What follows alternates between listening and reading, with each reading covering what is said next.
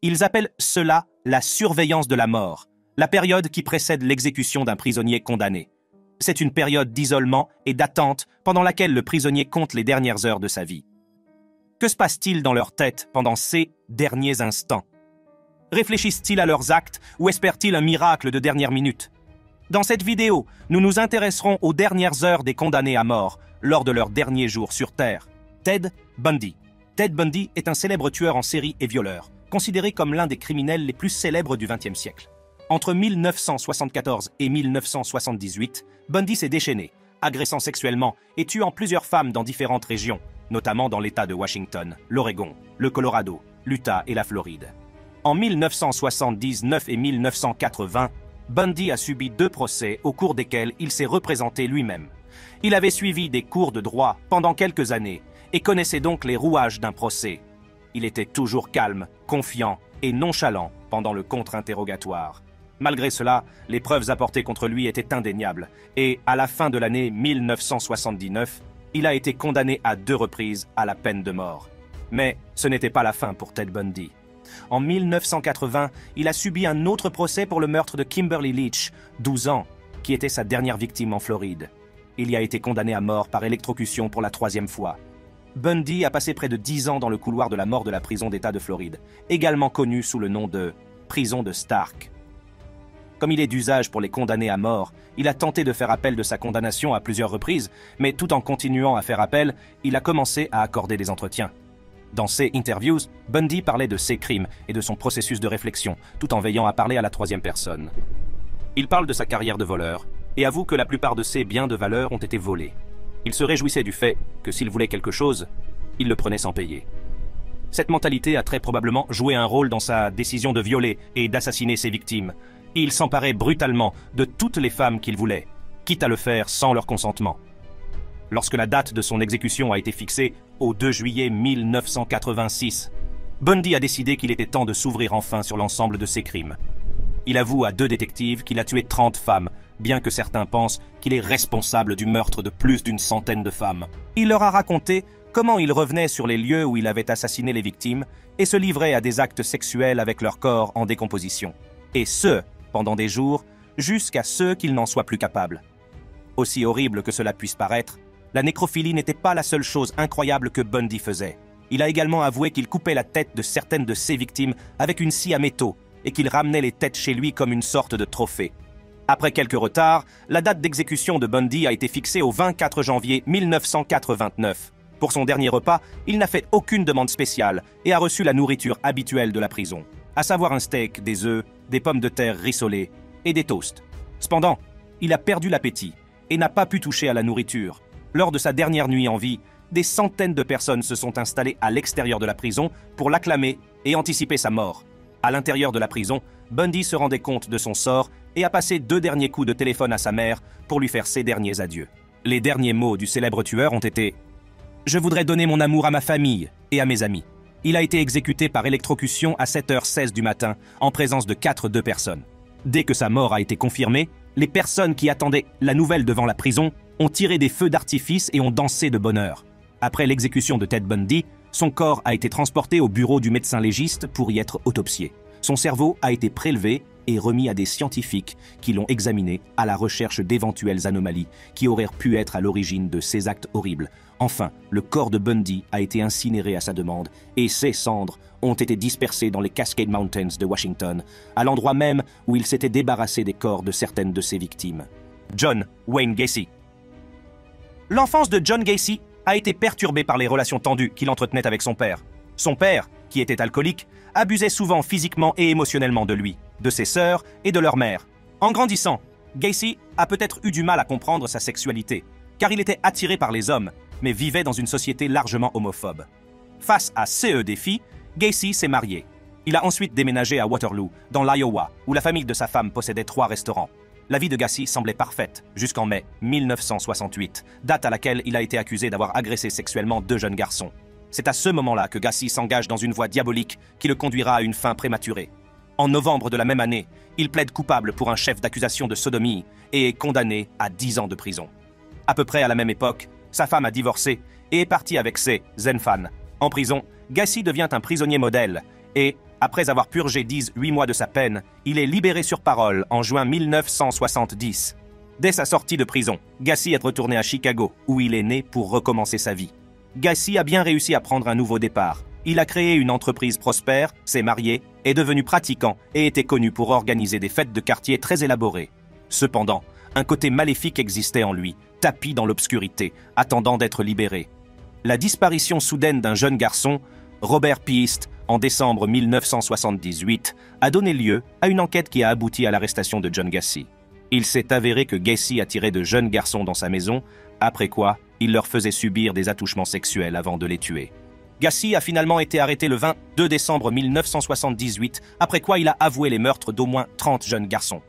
Après avoir entendu ses aveux, la police a perquisitionné son domicile et a trouvé 26 corps cachés dans un vide sanitaire.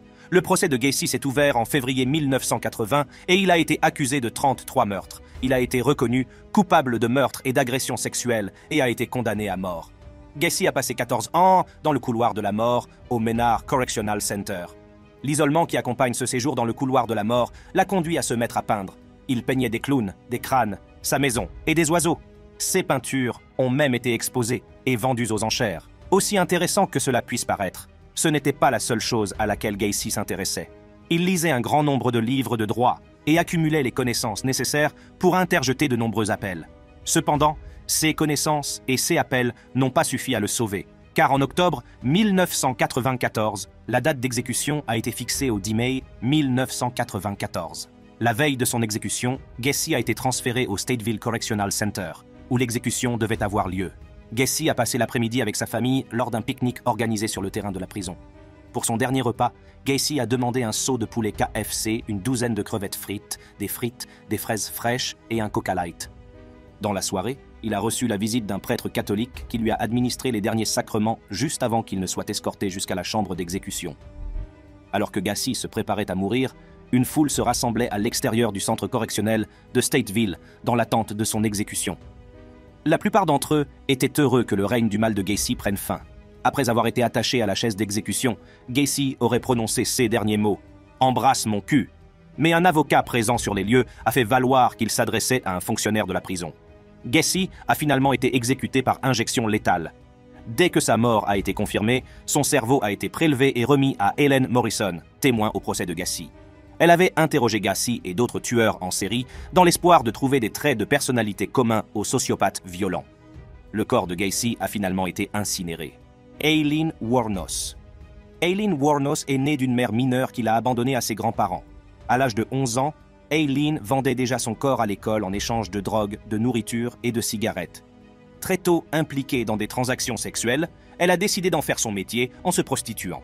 Avant de devenir une tueuse en série, Aileen avait un long casier judiciaire et a été arrêtée à plusieurs reprises pour différents motifs, notamment pour des vols. Entre 14 et 22 ans, Aileen a vu ce que le monde avait de pire à offrir et a tenté de mettre fin à ces jours à six reprises. Mais elle a toujours échoué. Alors qu'elle se prostituait, Eileen a développé une soif de sang qu'elle a déversée sur les hommes. Entre 1989 et 1990, elle a assassiné sept hommes âgés de 40 à 65 ans et s'est fait connaître comme la demoiselle de la mort. Eileen est finalement arrêtée en Floride et accusée du meurtre de six hommes. Au cours de son procès, Eileen Warnos a affirmé que les meurtres avaient été commis en état de légitime défense, car les hommes l'avaient agressée sexuellement.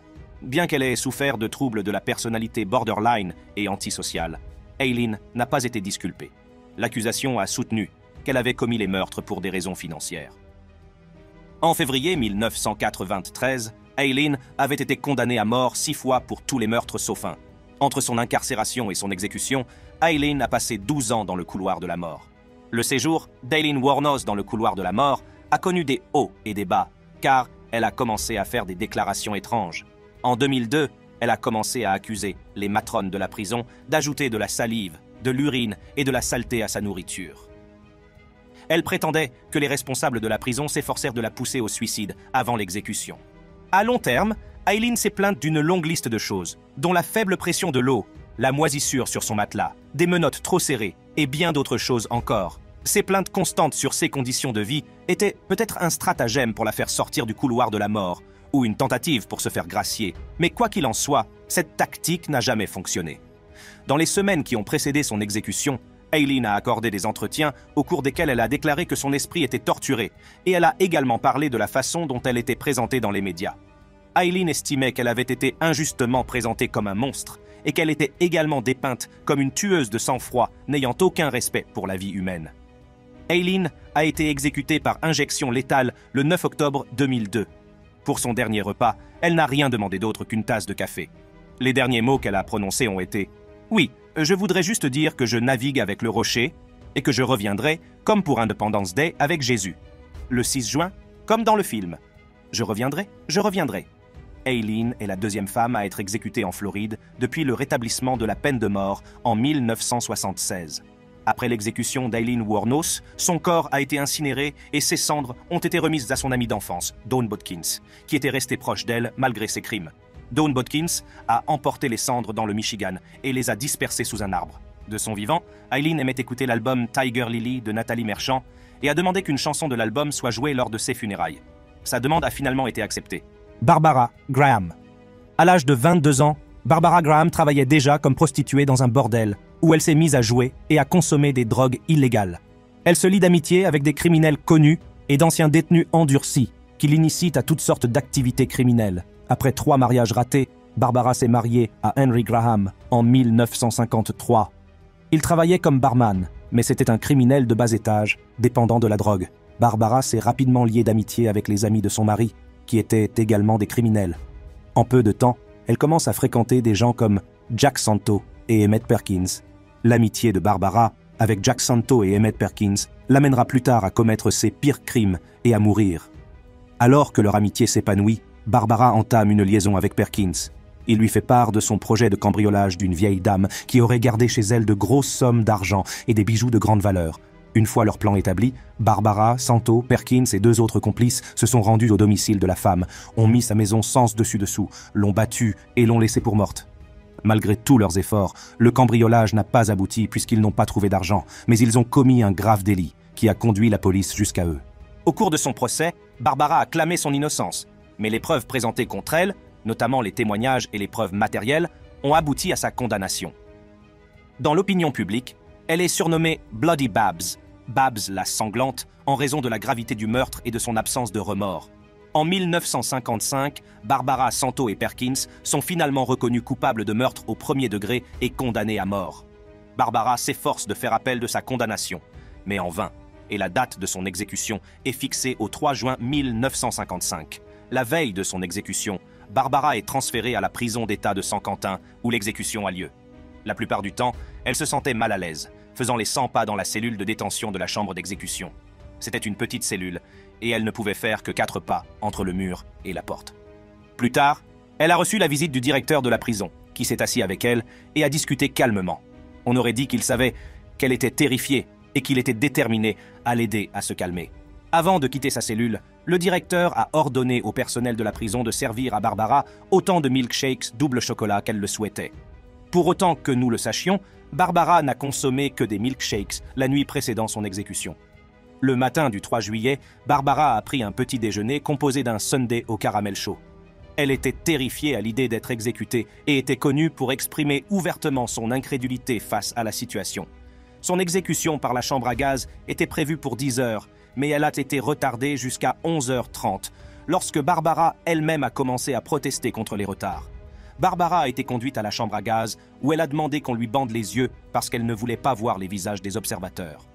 Ses derniers mots ont été ⁇ Les gens bien sont toujours tellement sûrs d'avoir raison ⁇ Mais lorsqu'on lui a conseillé de respirer profondément pour faciliter le processus de la mort, elle a répliqué ⁇ Comment diable pourriez-vous le savoir? 30 personnes, dont des journalistes et des gardiens de prison, ont assisté à l'exécution. Son mari, Henry, a réclamé son corps, qui a ensuite été enterré au cimetière Mount Olivet de San Rafael, en Californie. Carlton Gary. Carlton Gary est un tueur en série américain qui aurait violé neuf femmes âgées et tué sept d'entre elles entre 1960, 17 et 1960, 18. Pendant la majeure partie de sa vie, Gary a été en prison pour une raison ou une autre, mais il était la personne la moins soupçonnée pour les meurtres de ses femmes. Au moment de son arrestation en décembre 1978, Gary était impliqué dans un vol en Caroline du Sud. Il a avoué le vol et a été condamné à une peine de 21 ans de prison. En mars 1983, À peine cinq ans après le début de sa peine, Gary s'est évadé et est resté en liberté pendant un an avant d'être à nouveau arrêté.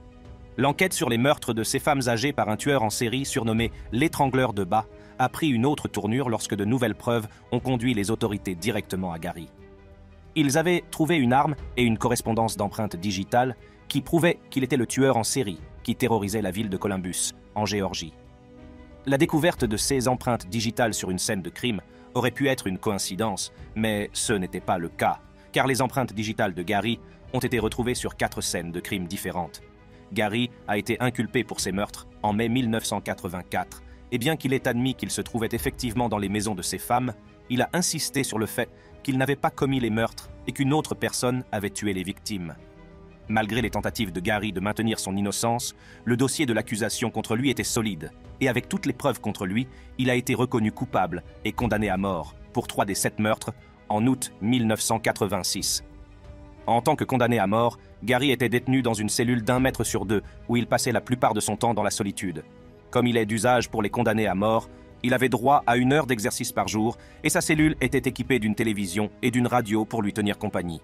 Au fil des années, Gary a développé un vif intérêt pour l'art et a commencé à mettre en avant ses talents artistiques. Il passait son temps à fabriquer à la main des cartes de Noël et d'anniversaire pour les gens. En dehors de l'art, la vie de Gary a pris un tournant positif lorsqu'il s'est marié en 1996. Il a rencontré sa femme par l'intermédiaire d'un groupe religieux qui rendait souvent visite aux prisonniers. Non seulement il s'est marié, mais il a également adopté la fille de cette femme. Bien qu'il soit derrière les barreaux, Gary a aimé sa femme et a noué des liens étroits avec sa fille adoptive. Pendant longtemps, Gary a espéré qu'un jour il serait innocenté. Mais ce jour n'est jamais arrivé. Il a fait appel à plusieurs reprises pendant des années, mais le verdict est resté le même. Le 16 décembre 2009, à environ 4 heures de son exécution, les espoirs de Gary d'être innocenté ont été ravivés lorsque la Cour suprême de Géorgie a suspendu son exécution. La Cour voulait en effet déterminer s'il était nécessaire de procéder à des tests ADN pour prouver son innocence ou sa culpabilité. Malheureusement pour Gary, tous les espoirs ont été définitivement anéantis en février 2018, lorsqu'une nouvelle date d'exécution a été fixée au 15 mars 2018. Lors des derniers préparatifs avant son exécution, Gary a refusé de manger son dernier repas et a également rejeté l'offre de faire une prière. Pour quelqu'un qui était connu comme une personne charismatique et bavarde, Gary n'a étonnamment fait aucune déclaration finale avant son exécution. À l'âge de 66 ans, Gary a été exécuté par injection létale à la prison de diagnostic et de classification de Jackson en Géorgie. L'État de Géorgie utilise la prison comme centre d'exécution et comme musée où sont exposés des objets liés à l'histoire de la peine capitale dans l'État. Ce qu'il est advenu du corps de Gary reste inconnu, mais il est possible qu'il ait été enterré dans une tombe anonyme ou qu'il ait été incinéré. Gary Gilmore. Gary Gilmore s'est tourné vers la criminalité dès son plus jeune âge et a été arrêté pour la première fois à l'âge de 14 ans. En 1964, il a été condamné à 15 ans de prison pour agression et vol à main armée. Il a été libéré sur parole en avril 1976, après quoi il s'est installé chez son cousin à Provo, dans l'Utah. Là, il a tenté à deux reprises d'accepter des emplois légitimes, mais a échoué à chaque fois. Frustré, Gilmore est retourné à ses tendances violentes, volant et buvant. En juillet 1976, quelques mois seulement après sa libération conditionnelle, Gilmore passe du statut de criminel ordinaire à celui de meurtrier. Le 19 juillet, Gary Gilmore est entré dans une station-service à Orem, dans l'Utah, qu'il a dévalisé, mais avant de partir, il a abattu Max Jensen, un employé de la station. Comme si tuer un homme ne suffisait pas, le lendemain, Gilmore a dévalisé un motel à Provo. Mais il n'est pas parti sans abattre le gérant du motel, Ben Bushnell. La femme de Bushnell avait assisté à la scène et regardé Gilmore quitter les lieux avec la caisse. Gilmore s'est tiré accidentellement une balle dans la main droite, en essayant de cacher l'arme du crime dans un buisson. Lorsqu'il est retourné dans un garage où il avait laissé son camion pour le faire réparer avant d'aller cambrioler le motel, le propriétaire du garage a remarqué que sa main saignait. Lorsque Gilmore est parti, le garagiste a appelé la police et lui a communiqué le numéro de sa plaque d'immatriculation.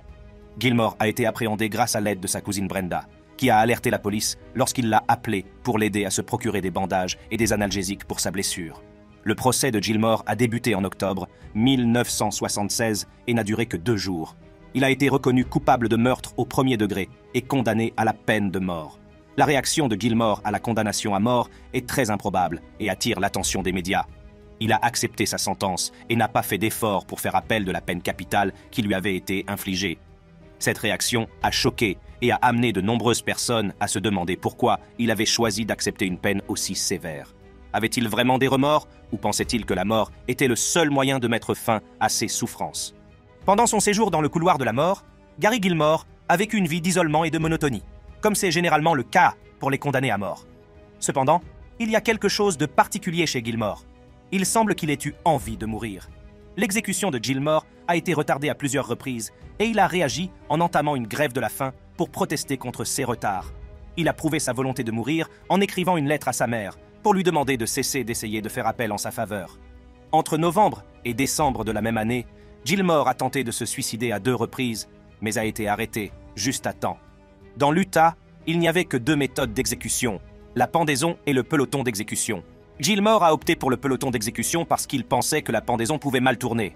La veille de son exécution, le 17 janvier 1977, Gilmore a demandé un dernier repas simple composé d'un steak, de pommes de terre, de lait et de café, mais il n'a pris que le lait et le café.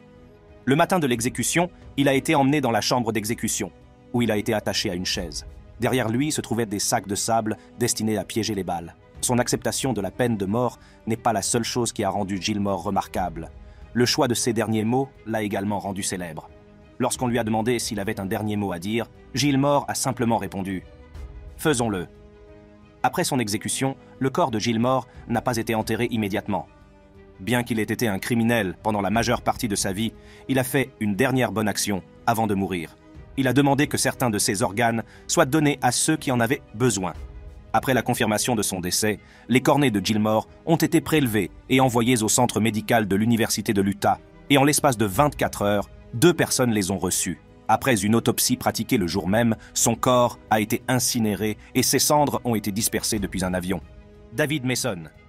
David Mason est passé de la petite délinquance, comme le vol et la prostitution, à la terreur dans la ville d'Oakland, en Californie, entre mars et décembre 1980 tuant au moins quatre personnes âgées à leur domicile. En janvier 1981, Mason a été impliqué dans une course-poursuite avec la police et a réussi à s'échapper, mais il a laissé la voiture derrière lui. Les autorités ont alors utilisé les informations obtenues à partir de la voiture pour localiser sa maison. Sur place, ils ont pu parler à la mère et aux frères de Mason. Ceux-ci leur ont remis une cassette vidéo réalisée par Mason lui-même. Dans cette vidéo, Mason avouait tous ses crimes, les décrivant en détail. Il avait laissé la vidéo à sa famille au cas où il lui arriverait quelque chose. Sur la base des aveux de Mason, un mandat d'arrêt a été lancé contre lui. Le 4 février 1981, lorsque la police est arrivée au Holiday Inn où il résidait, il n'a opposé aucune résistance et a été placé en garde à vue sans incident.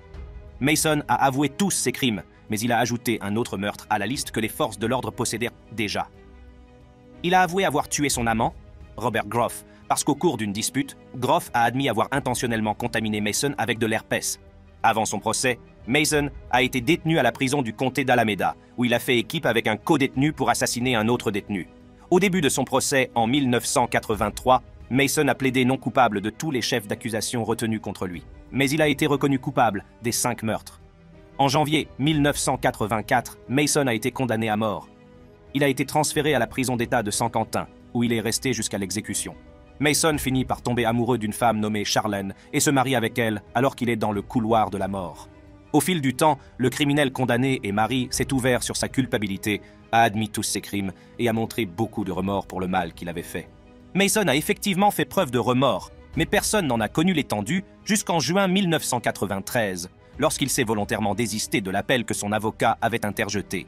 S'il avait laissé l'appel aboutir, il aurait pu bénéficier d'un nouveau procès qui aurait annulé sa condamnation à mort, mais Mason n'a pas voulu saisir cette opportunité. Il a déclaré qu'il avait décidé de retirer son appel parce qu'il voulait servir d'exemple à d'autres criminels pour qu'ils ne suivent pas ses traces. La date de son exécution a donc été fixée au 24 août 1993 à sa demande.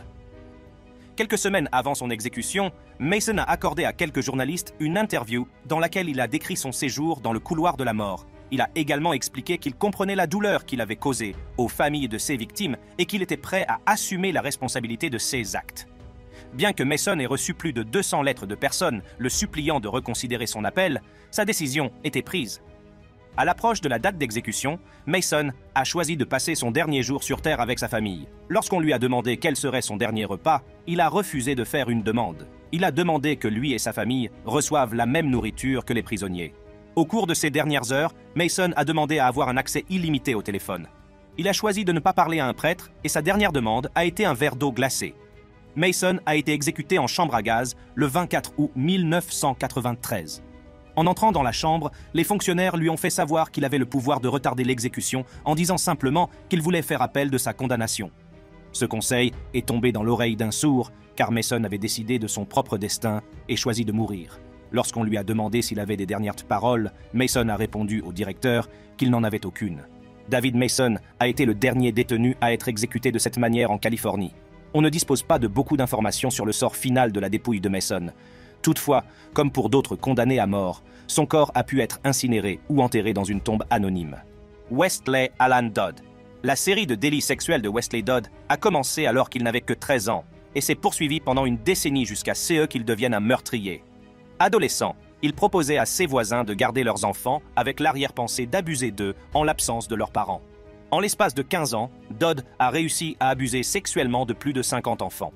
Il a fini par rencontrer son Waterloo en novembre 1989, lorsqu'il a été arrêté pour avoir tenté d'enlever un petit garçon dans un cinéma de Washington.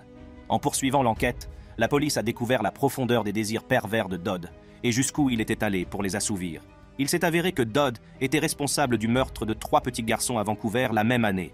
Au cours d'une enquête de trois jours, Dodd a finalement avoué avoir tué les trois garçons. Sur la base de ses aveux, la police a obtenu un mandat pour fouiller sa maison, et la perquisition a donné lieu aux choses les plus étranges. Les enquêteurs ont trouvé des coupures de journaux relatant ses crimes dans un album, une mallette contenant les sous-vêtements de ses victimes, et un album photo rempli de photos de différents enfants qu'il avait agressés. La pire chose qui ait été trouvée chez lui était son journal intime, dans lequel il détaillait explicitement tous les meurtres, la manière dont il les avait commis, et comment il prévoyait d'en commettre d'autres. Grâce à ces nouvelles preuves, Dodd a été inculpé de meurtre aggravé, au premier degré, et de tentative d'enlèvement. Il a plaidé coupable pour tous les chefs d'accusation, et a été condamné à mort en 1990. Après avoir été condamné, Dodd a eu la possibilité de choisir entre l'injection létale et la pendaison, et il a opté pour la pendaison, parce que c'est exactement de cette manière qu'il a tué sa dernière victime. Après avoir été condamné à mort, Dodd n'a fait aucun effort pour faire appel de son cas ou de la sentence. Au contraire, il a affirmé qu'il serait préférable pour le monde qu'il soit exécuté parce qu'il ne pouvait pas être réhabilité. Pire encore, il a déclaré que s'il en avait l'occasion, il continuerait à agresser et à tuer des enfants, et qu'il prendrait plaisir à le faire. Ces déclarations ont été une révélation effrayante de l'homme qu'il était, un homme irrécupérable. Et si certains ont mis en doute ses motivations pour des aveux aussi choquants, il était clair qu'il voulait être exécuté. Pour Dodd, la mort semblait être le seul moyen de mettre fin à la culpabilité et à la douleur qu'il ressentait. En attendant son exécution, Dodd a utilisé son temps pour faire connaître la pédophilie. Il a accordé des interviews à des journalistes, fait des apparitions dans des émissions de télévision, et s'est adressé à tous ceux qui voulèrent bien l'écouter.